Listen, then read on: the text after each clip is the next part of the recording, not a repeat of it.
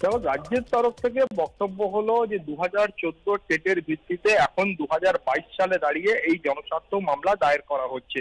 অতএব এই দীর্ঘদিন পর এই জনস্বার্থ মামলার কার্যত কোন রকম গ্রহণযোগ্যতা নেই আদালতের কাছে। এই মর্মে রাজ্যের তরফ থেকে সওয়াল করা হয় এবং তারা কিন্তু স্পষ্টতই বলেন যে রাজনৈতিক উদ্দেশ্য নিয়ে সুনির্দিষ্টভাবে এই মামলা করা হয়েছে। অতএব এই মামলা অবিলম্বে খারিজ করে দেওয়া হোক, সেই বক্তব্য রাজ্যের তরফে পেশ করা হয়েছে।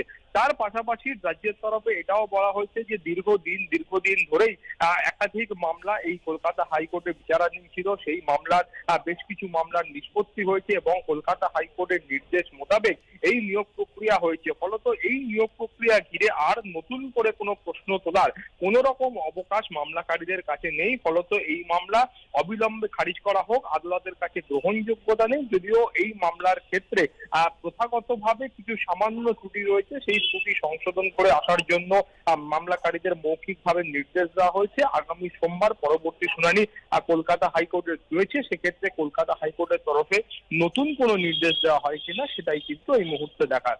মধুবন্তী। ধন্যবাদ সৌভিক জেলাগুলির পাশাপাশি কিন্তু অশনির আশঙ্কায় লালবাজারও তৈরি, লালবাজারে তৈরি হলো ইউনিফাইড কমান্ড সেন্টার, এনডিআরএফ বিপর্যয় মোকাবিলা বাহিনী, কলকাতা পুরসভা পূর্ত দপ্তর সহ বেশ কয়েকটি দপ্তরের কর্মীদের নিয়ে কাজ শুরু হয়ে গেছে ইতিমধ্যেই। কোনো খবর পেলে যাতে দ্রুত ব্যবস্থা নেওয়া যায়, তার জন্যই কলকাতা পুলিশের তরফে তৈরি করা হয়েছে ইউনিফাইড কমান্ড সেন্টার। কলকাতায় বিপর্যয় মোকাবিলা বাহিনীর পনেরোটি দল ও এনডিআরএফ এর দুটি দল রয়েছে। লালবাজারের পক্ষ থেকে চালু করা হয়েছে হেল্পলাইন। আমরা এখন দাঁড়িয়ে রয়েছি কলকাতা পুলিশের সদর দপ্তর লালবাজারে। লালবাজারে ইতিমধ্যে ইউনিফাইড কমান্ড সেন্টার এখানে কাজ শুরু করেছে। মূলত এই যে সেন্টার তৈরি করা হয়েছে, দুর্যোগের কথা মাথায় রেখে।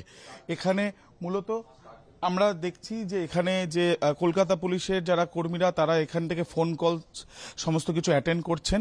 লালবাজার কন্ট্রোলে ফোন করলে কোথাও গাছ পড়ে গেলে বা কেউ কোনো সমস্যায় পড়লে সরাসরি এখান থেকে তারা সেই কলগুলো নিচ্ছেন এবং তার সঙ্গে সঙ্গে সুপিরিয়ারদেরও জানাচ্ছেন।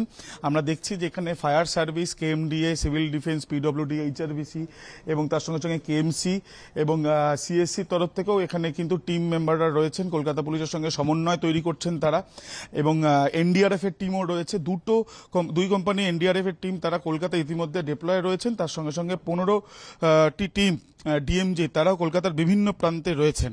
এখানে বিভিন্ন রকম ইনস্ট্রুমেন্ট রাখা রয়েছে, বিভিন্ন রকম যন্ত্র এখানে রাখা রয়েছে এবং যোগাযোগের মাধ্যমে সমন্বয়ের মাধ্যমে যাতে দ্রুত কেউ কোনো সমস্যায় পড়লে সাধারণ শহরবাসী তাদেরকে সাহায্য করা যায়, সেই বিষয়টিকেই কিন্তু বিশেষ করে প্রাধান্য দেওয়া হচ্ছে।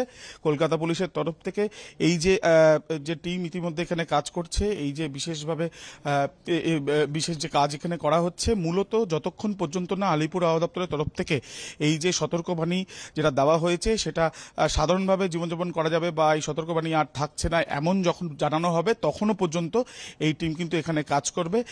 প্রয়োজনে সারা রাত্রি কাজ করবে, আগামীকালও কাজ করবে, এমনটাই জানা যাচ্ছে। আজকে ভোর ছটা থেকে শুরু হয়েছে এবং রেসপন্সও পাওয়া যাচ্ছে। সাধারণ মানুষ যখন ফোন করছেন, এখানে দেখতেই পেলাম না কিছুক্ষণ আগে পুলিশ কর্মীরা ফোন অ্যাটেন্ড করছেন এবং সেই অনুযায়ী তারা যাতে দ্রুত যারা সমস্যায় পড়েছেন শহরবাসীরা তাদেরকে যাতে সাহায্য করা যায়, সেই কাজই করা হচ্ছে। ক্যামেরায় সন্দীপ সাধুকার সাথে আবিদ দত্ত এবিপি আনন্দ। কলকাতা